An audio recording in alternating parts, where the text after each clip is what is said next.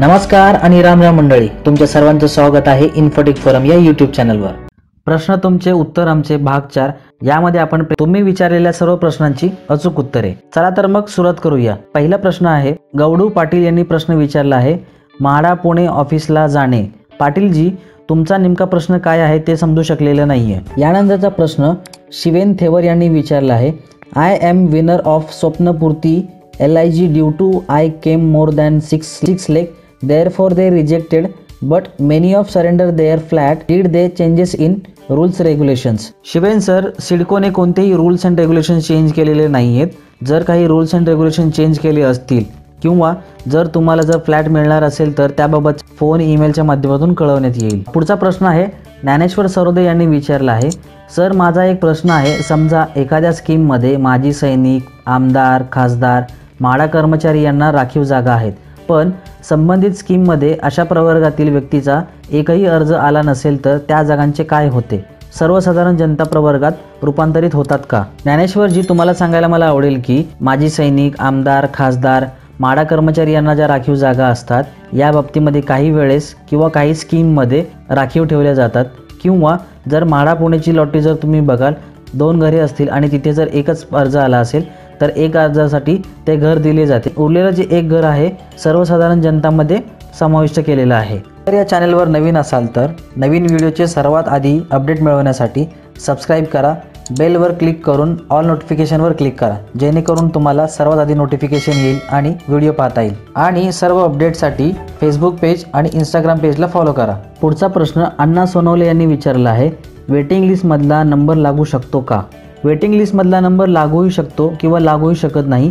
कारण waiting लिस्टवाल्यांचे number जे आहेत जे यशस्वी अर्जदार जसे जसे बाद होत जातील त्यांच्या आर्थिक कारणामुळे किंवा त्यांच्या कागदपत्रांच्या त्रुटीमुळे तसे तसे वेटिंग लिस्टमधील नंबर पुढे पुढे सरकले जातात. आणि जर तुमचा वेटिंग लिस्टचा नंबर जर खूपच जवळ असेल तर तुम्हाला लवकरच घर मिळण्याचे चान्सेस असतात. पुढचा प्रश्न सचिन इथाफे यांनी विचारला आहे डोमासाईल दोन हजार अठरामध्ये काढले असेल तर चालेल का?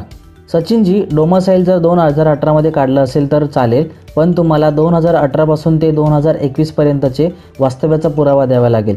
त्यासाठी तुम्ही सर्व अर्जदारांनी दोन हजार वीस दोन हजार एकवीस किंवा एकोणीसमध्ये जे डोमेसाईल काढले असेल ते तुम्ही जमा केले तर तुम्हाला उपयुक्त ठरेल. आकाश जैस्वाल यांनी विचारलं आहे कॅन्सलेशनची प्रोसेस काय आहे? कुठे भेटेल?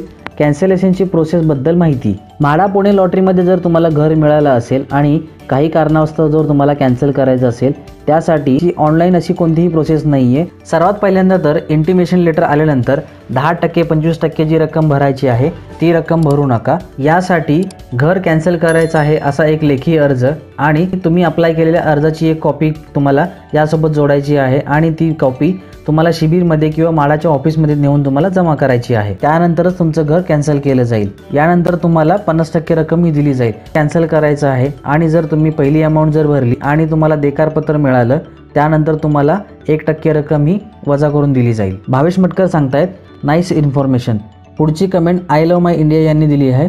Nice information Tosin Patel nice information तुमचे खूप खूप आभार.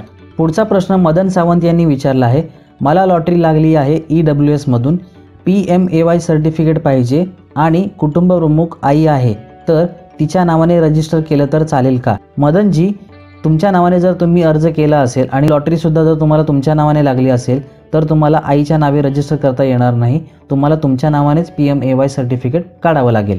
पुढचा प्रश्न खालिद भगवान यांनी विचारला आहे सर कॅनरा बँकमध्ये डॉक्युमेंट आणि पैसे जमा करायचे आहेत की की फक्त पैसे भरून रिसीट घ्यायची आहे? प्लीज क्लिअर करा. यानंतर सचिन इताफे यांनीसुद्धा प्रश्न विचारला आहे प्लीज आन्सर कॅनरा बँकमध्ये फक्त पैसे भरायचे आहेत की डॉक्युमेंट अल्सो इंटिमेशन लेटर मिळाल्यानंतर कॅनरा बँकेमध्ये जी रक्कम दिलेली आहे ती रक्कम भरायची आहे आणि आवश्यक कागदपत्रेसुद्धा जमा करायची आहेत अशी माहिती माडाच्या बुकलेटमध्ये सुद्धा दिलेली आहे. आणि या पैसे भरलेल्याची रिसीट आणि आवश्यक कागदपत्रांची एक कॉपी घेऊन नंतर शिबिरामध्ये सुद्धा जायचं आहे. जे शिबिर आठ फेब्रुवारी ते पंधरा फेब्रुवारी यामध्ये आयोजित करण्यात आलेलं आहे. आणि जर अर्ज प्रथम येणाऱ्याच प्रथम प्राधान्यामध्ये केला असेल तर कॅनरा बँकेमध्ये पैसे जमा न करता महा- बँक ऑफ महाराष्ट्रामध्ये दहा टक्के इनिशियल डाऊन पेमेंट करायचं आहे. यामुळे तुम्ही कोणत्या गटासाठी कोणता अर्ज केला आहे यावर अवलंबून आहे. आणि पेमेंट जर कॅनरा बँकमध्ये करायचं आहे किंवा महाराष्ट्र बँकेमध्ये करायचं आहे याबाबत जर तुम्हाला कन्फ्युजन असेल तर त्यासाठी वरती आय बटनमध्ये आणि डिस्क्रिप्शनमध्ये लिंक दिली आहे. तो व्हिडिओ एकदा अवश्य पहा. पुढचा प्रश्न अजय मखमले यांनी विचारला आहे घनसोली पजेशन कधीपर्यंत देणार आहेत सिडको? अजयजी सिडकोमार्फत याबाबत कोणतीही अधिसूचना जारी करण्यात आलेली नाही आहे किंवा कोणतीच माहिती अजूनपर्यंत देण्यात आलेली नाहीत. जशी मला माहिती मिळेल याबाबतची माहिती मी तुम्हाला नक्की पुरवेन.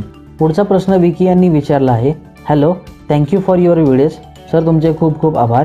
What is the income group if any one earns forty five thousand basic plus D A but join the job on October nineteen L I G or E W S विकीजी तुमचा जॉब ऑक्टोबर दोन हजार एकोणीसमध्ये किंवा February दोन हजार वीसमध्ये जरी लागला असेल तरीसुद्धा माडाच्या नियमावलीनुसार तुमचे मासिक उत्पन्न ग्राह्य धरले जाईल आणि तुमचं उत्पन्न पंचेचाळीस हजार बेसिक प्लस डी ए असेल तर एल आय जी गटामध्ये अप्लाय करू शकता.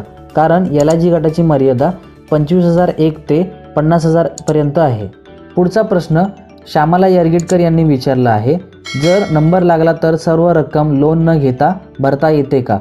हो जर तुमचा माडा लॉटरीमध्ये नंबर लागला असेल आणि जर तुम्हाला सर्व रक्कम लोन न करता एक रकमी भरायची असेल तर ती सुद्धा तुम्ही भरू शकता. यानंतर इंस्टाग्रामला सुरेश यांनी प्रश्न विचारला आहे दहा टक्के रक्कम भरायची आहे तर मग नव्वद टक्के लोन होणार का? देकारपत्र आणि एन ओ सी मिळाल्यानंतर तुम्हाला बँकेमधून लोन करता येईल आणि तुम्हाला नव्वद टक्के लोन मिळू शकते. जर तुमची एलिजिबिलिटी असेल तरच तुम्हाला नव्वद टक्के लोन दिलं जाईल. पण जर तुमची एलिजिबिलिटी सदनिकेच्या किमतीच्या ऐंशी टक्के जर असेल तर तुम्हाला बाकीचे दहा टक्के जे उरलेले आहेत ते तुम्हाला कॅशमध्ये तयार ठेवावे लागतील. आणि दहा टक्के तर तुम्ही पहिलेच भरणार आहात. खूप साऱ्या लोकांनी सिडकोची लॉटरी कधी येणार आहे त्याची भरण्याची डेट काय आहे आणि फॉर्म कसा भरावा याबाबतचे खूप सारे प्रश्न विचारले आहेत. चंद्रपाल पठारी आहे. सर जी किस्से मिलना पडेगा प्लीज डिटेल्स देना या तो ॲड्स कॉल नंबर. दोन हजार एकवीस ॲप्लिकेशन देण्याची डेट काय आहे आणि कधीपर्यंत आहे? जे नवीन सोडत कधी सुरू होणार आहे? अनिता शिलवंत यांनी विचारलं आहे आता नोंदणी करू शकतो का? अधिकृत जाहिरात आणि अधिकृत तारीख आल्यानंतर याबाबत मी सविस्तरपणे व्हिडिओ बनवेन यामध्ये तुम्हाला सर्व काही माहिती मिळेल. त्यामुळे तुम्हाला काही काळ थांबावं लागेल आणि वाट पाहावी लागेल. स्मिता गायकवाड यांनी विचारलं आहे जे सात हजार घरे राहिले आहेत लॉटरी आली का? की सिडकोकडे जायचे विकत घेण्यासाठी. सिडकोची प्रथम येणाऱ्यास प्रथम प्राधान्यासाठी अजूनपर्यंत कोणतीही माहिती आलेली नसून यासाठी अधिकृत माहिती देण्यात येईल आणि त्यानंतरच प्रोसेस काय असेल आणि कशी असेल याबाबतची माहिती देण्यात येईल. अशाच प्रकारची वेगवेगळी आणि उपयुक्त माहिती मिळवण्यासाठी इन्फोटेक फोरम चॅनलला सबस्क्राईब करा बाजूच्या बेलवर क्लिक करा जेणेकरून तुम्हाला सर्वात आधी नोटिफिकेशन येईल आणि व्हिडिओ पाहता येईल. लाईक करा शेअर करा काही अडचण किंवा सजेशन असल्यास कमेंट करायला विसरू नका. धन्यवाद. पुन्हा भेटूया नवीन व्हिडिओसोबत जय हिंद जय महाराष्ट्र.